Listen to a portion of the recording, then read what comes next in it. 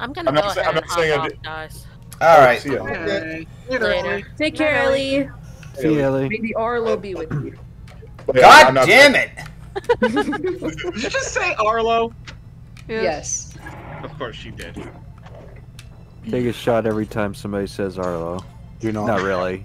Do not. Oh, well, if that's the case, well, uh, That is until Well, we'll Ellie came off. So he um, I, pu- I she li- he lives in stupid. spirit.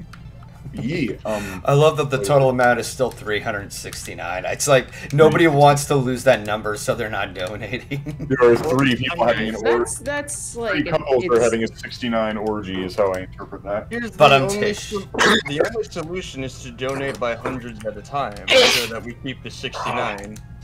Bless you. So then it becomes it goes from triple nice to quadruple nice. Yeah. to quadruple, triple, triple nice. That's how it fucking goes, you idiot! Get your fucking gremlin math out of here. What's going on in the Discord call? Um, oh yeah, Border, the another one too. You probably heard of this one, King Solomon. I own like three copies of his grimoire, literally three. Come on, Discord. Well, okay, three copies of the lesser key. I know there's the greater key and the general book, but let's be real. If you're an occult, if you are an occultist, you can have all three. A lot of Western magi do, but naturally speaking, you probably only have the lesser key because the lesser key is the fun one. Discord. Wasn't there wasn't there like a new tale of Gilgamesh that was found recently or something? Yeah, it was, it, it was. It was held in, of all fucking places, Hobby Lobby. Of course it was. Of And course. fucking. Ah, Apparently. Okay, so. Wasn't in the wasn't in the fucking Library of Alexandria, which was burned. It was in a fucking Hobby Lobby of all places. yeah. Yeah, and um, another fun thing, fun thing about Honestly, that I, I'd be Uh, less shocked if it was in a Home Depot because the fucking Home Depot is already a mystical labyrinth. I used to work there. Um, Not wrong. Well, there was another one too where um, you see the ancient Catholics did as ancient Catholics do, and if they disagreed with you, instead of a debate, they would just go right to the genocide part. So uh, they tried to eliminate.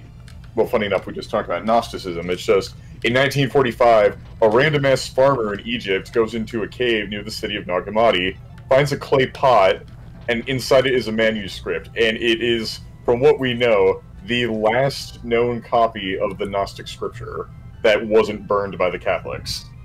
Damn. And it's survived in an urn for 2,000 years. See, this is why in Legend of Zelda you break every pot in sight. Because you never know what kind of shit's hiding in there. Can I just say, though, good on Could be those. five rupees, could be a hundred, who knows? Yeah. Could be bombs. Go ahead, Peter. Um, but yeah, of all the places for an ancient manuscript to get lost, thank God it was Egypt, where it's like dry and sandy all the fucking time. Yeah, there, there's there's not gonna be any rain that fucking ruins that. Well, it was in a cave, but like there's not any like humidity. Most importantly, to make the pages or papyrus rot. Ah, yeah, that's fair. Hey, remember that time we found an obelisk, uh, a coffin in the middle of the Egyptian desert, and like everyone, including Neil Gaiman, was just like, "I know what, I know what this story starts with." and I also know how it ends. Yeah, I I did look up because my curiosity got the hold of me, like what was in it, and apparently it was like three bodies buried in an obsidian casket. That's not foreboding at all. No, I will admit, when I was young, uh, I had a huge like, like the first history boner I ever really had was for Egypt, because we played this DOS game called Riddle of the Sphinx, where they did th- actual 3D mapping of the inside of the real pyramid and put it in the game, so you could explore the pyramid. And like there are little notes about like what each of the rooms are and what's in them in real life and everything. There obviously there is a certain point in the pyramid where it's obviously fictional, but it's cool that all the real parts of it are there. Mm-hmm. Um, no, I love how immaculate their tombs are, because death as a concept just fascinates me. So the idea of like this, there's this like epic, eternal monument to, effectively like just a grave. Oh, Yeah, or the grave, or death, or the afterlife, just to see that, and it's like an old mysterious thing that's. There's something alluring. Like I want to visit the pyramids. Basically, is what I'm saying. Just because it would be cool to visit. Like I, I like visiting tombs. They're, they always That'd be intrigue me. Hey, speaking of tombs, hey Border, do you want to go to the, um, want to fly to Kiev and let's go to Ukraine? Let's go to the exclusion zone and just like chill out for a day. Oh yeah, let's just play soccer IRL. That, that that'll go well. I mean, if you follow the rules, you should be fine. They, you get a little certificate as well of they take your radiation reading when you go into Chernobyl, and then they take it again when you leave. And it, You get to- does it say I gained this many fucking rads while in the Ukraine? You like Well, it's- sticker? It's not like a sticker or souvenir, but it is. You can technically keep it as a souvenir because they let you keep the little document. I think it's written in Cyrillic though. It's written in Ukrainian or Russian, I think. Um, but yeah, it says who you are and what your radiation level is, and that you were approved or declined uh, the ability to leave or enter, or something. Uh, the only catch is if you want to blog it, there's only one rule apparently, and that is you are not allowed to film the military checkpoints uh, when you approach them That's fair. or when you're at them, and they're guarded by Russian military. So I don't want to try and do it secretly either. Y- y- Guys that used to fucking run the KGB, yeah, probably not a good idea to try and uh, sneak up with a hidden camera. Probably. Yeah. Yeah, this is the second most powerful military on the planet. I'd rather not fuck with this. Didn't they have come up with a nuke called like the Devil Two or something? No, the Satan. Oh, the Satan two is like The horrifying Satan to a degree that it gives me a boner. Wouldn't it like? Isn't it No, supposed no, to be? no, no, wait. One, one of them has a minim has a blast radius between the size of get ready, or effective area of danger the size of France at its lowest setting and Texas at its highest. Oh, oh, you're that talking is from a single bomb. Yeah, they made only one. This is Tsar Bomba, right? No, this is Satan. No, Tsar Bomba wishes it could be that powerful. This is Satan two. Oh sh- shit! Did you hear about the recent Russian nuclear? Satan's so good. How the fuck? How come they ain't dropped Satan two yet? And now there's Satan two. Yeah, I was gonna say 2 for real. Officially- Where's Where's God two? Fucking that update needs to come the fuck out for balancing reasons because uh, thought that was Christianity. this sounds well, like that's just Jesus, isn't it? this. Well, I, I should also point out that we have a different nuke building philosophy than the Russians do. Um, the Russian nuke building philosophy is like it's almost like a shock and awe overkill, which is I why mean- the Satan two has a blast radius the size of Texas. Is, Um, isn't that the whole point of a nuke to begin with? Is shock Well, and? Well, yeah, but here's here's a difference though. The U.S.'s system of nukes, um, I think it's called like the Thor missile system, or maybe that was the old missile system. Um, were are meant to be like there's a shit ton of them, but they're all like pinpoint. We- We deliberately only cap them off at a certain point, as opposed to just making the biggest bomb we fucking can. Because why not? Because there's a problem with making one overly powerful Gotcha. bomb. Is that everyone at the United Nations uh, was the Soviet Union was actually low key embarrassed or a bit like myth about the about the Tsar Bomba because instead of getting everyone afraid and praising them, they instead got a lot of shit for kicking up so much uh, uh, fallout and other particles into the atmosphere for just a test that they thought it was just how to put this them being needlessly gung ho over a point they didn't need to make and then causing a needless fallout for it. So hmm. they were actually embar- they actually were not keen on talking about it for a while because it was slightly an embarrassment because of how much ridicule they got for it. Sleepy. Jesus Whoa. Christ! No, that was Panda. And That was Panda. um, That was a powerful. Trying to one up me, Fox. but, uh, Dude, you you fucking belched so hard that it froze the game a little. Nice. So Coincidence, but let's I go it. screamed while your game froze, and now kind of like burps. This is like the greatest thing in history. Right? Oh my god. Ellie is so lucky to have left early because holy shit, Biscuit. Uh, I can hear was her yell from here. I can hear her Oh, read so hard. nice. that was nice. glorious. Nice. Nice.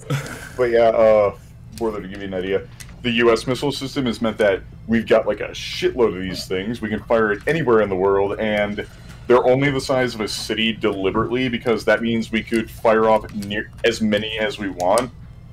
And yeah, it will still damage the environment because it's a nuke, but it won't do like it won't like grind up an entire country with all the soil and nature on it like a Satan two would. Instead, you're just pinpoint destroying massive cities. Which honestly, it seems kind of like the smarter play. Because No, it like, is. Because, because think about like this: if you're fighting, say, like a worldwide terrorist organization, if you have one big bomb, you can make one statement in one place, and that place may be really fucking huge. But hey, guess what? They got places all the fuck over. You have a hundred smaller bombs, you can take out a hundred of their fucking places, majorly populated or not. Right. No, like what I find also nuts is that I love that the Cold War has this almost mythology to it. Because it really does. Like you never really know what all the secret government groups have been doing or what how many other secret super weapons that we really had or what why the number stations are still running and what it's telling whatever the fuck is listening to them. You know Damn what I mean? Yeah. Um, but one of them that I like is that the U.S. actually did build an unstoppable super weapon. Because if you used it today, we would be the only nation on Earth that could also stop it. Hmm. I really do mean we are the only one. We made a, and you, I've told you about this. We called it the Valkyrie, and it was designed to be a nuclear bomber in the '60s. Only what we found out, what we actually did was we made a plane that was so horrifyingly powerful that if unleashed, would we wouldn't be able to stop it. And Hmm. the the entire point of it was it was designed to give the world its final bombing run. Hmm. Um, and apparent, and I think it was like something like if you wanted to destroy the world, you only needed three, but we built like ten. Alright, that's close enough. Um, and I think it was like it only you would only have needed one to have completely destroyed China or Russia. Hmm. Um, that still applies today because, as it turns out, it is still faster than a surface-to-air missile because we thought surface-to-air missiles would catch up with it, but they never did. So technically, you will not be able to shoot it down with a missile today. Oh fuck. And this is a super weapon from 1967. Yeah, what kind of fucking speed this thing packing? Jesus Christ. Um, the only thing faster than it, by decimal points, is a Blackbird. In fact, it is so powerful at Mach speed, it even if you cut the power to the engines, um, it can still generate lift from its own hypersonic shockwaves. Oh yeah, one of my great uncles was uh, a, on the Skunk Works team that made the SR-71. That's cool. But for real, Damn it! you could even if you somehow killed the engines on this thing, it can keep flying from sonic fucking shockwaves. Damn. How long is the question after you cut the power, though? Because eventually, well, actually, well, yeah, Ah. how fucking long? Because air resistance is still a fucking thing. How long It is can still fly a like thing, that? but you'd probably be good because it also has the service ceiling of the SR-71. Damn it! So you can not only fly outside of radar range, you're probably higher than a missile can reach. If one even can reach you, you can literally just tap the accelerator and it's not a problem anymore. And even if you somehow lost power to the engines, which by the way would not happen in its use because we thought about that, um, even if you somehow cut all the power, you have 85,000 feet of drag and could probably land anywhere on the planet from anywhere at that height, probably. Especially if you're still riding on your sonic shockwave lift. Yeah, and up in the Oh, eighty fucking thousand, God. there's not gonna, there's not going to be a lot of air resistance because the air gets thinner the higher you go up. Fun fact. Yes. But yeah, no, so that's uh, the story about how the US built a horrifyingly unstoppable super weapon called Valkyrie. and that wasn't even. Oh, that's not even the worst thing we did. We did design a weapon. We haven't built it yet, though.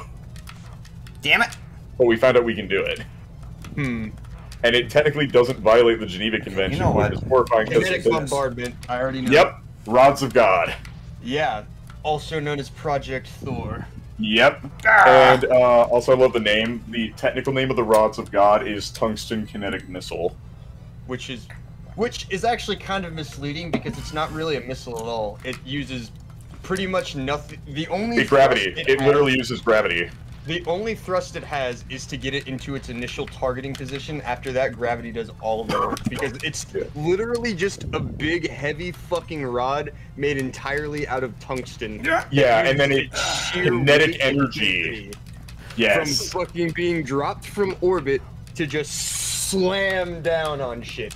I mean- explosives, no chemicals, no nuclear components whatsoever. So technically, it does not violate the Geneva Conventions, but it is still a horrifyingly powerful super weapon. Ah, damn it! Yes. But here's the thing. Apparently, it, it technically, it, it technically did. I forget what makes it count as a missile. Just it's yeah. I think it's cool to call it a, tung, like a tungsten kinetic missile. There's something cool about that.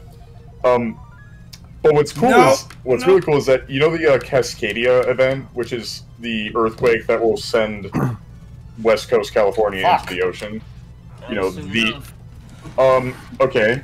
Well, it would only apparently take one tungsten kinetic missile to split the San Andreas. No!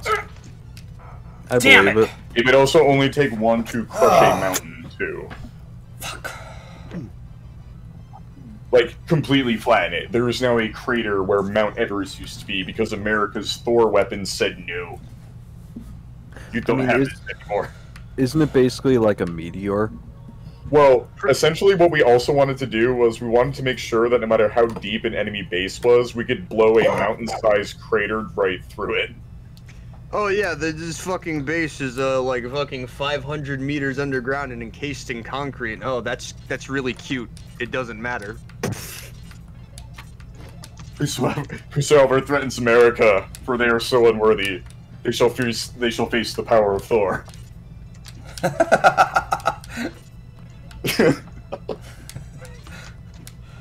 You're an old man and a fool.